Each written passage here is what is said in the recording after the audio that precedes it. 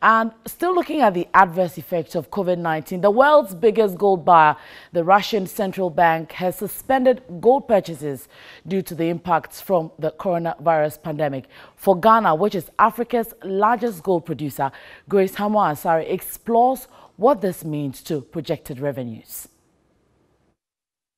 The gold market continues to deal with liquidity issues as mines and refiners close down because of the economic impact of coronavirus across the globe. Gold mining giants Rio Tinto and Anglo American have reported production slowdowns due to coronavirus related restrictions. This week, Endeavour Mining reported that a worker at the company's Houndé mine in Burkina Faso had tested positive for COVID 19, having first experienced symptoms while on site. And here in Ghana, a worker at Anglo Gold Ashanti's Obuasi Gold Mine also tested positive for coronavirus. The market is even expected to feel the impacts the more as a major central bank said it is not buying any gold from April 1 as volatility remains high. Ghana is Africa's leading gold producer with an output of 4.8 million ounces in 2018.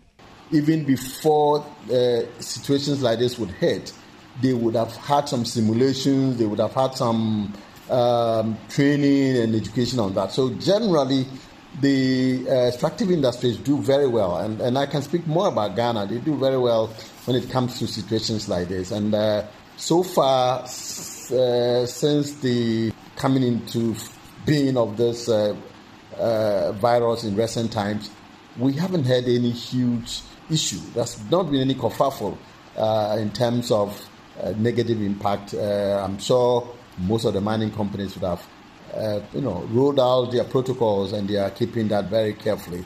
According to Deputy Director for the Africa Center for Energy and Environmental Sustainability, Gideon Ofosu-Peasah, this presents an opportunity for Ghana to learn some lessons. The good news for us as a country is that our main trading partners um, in gold are China and the rest of the world.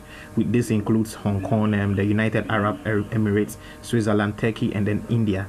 The key lesson for us is to keep diverse um, trading partners in order to cushion the impact of such random global shocks like what is currently happening today.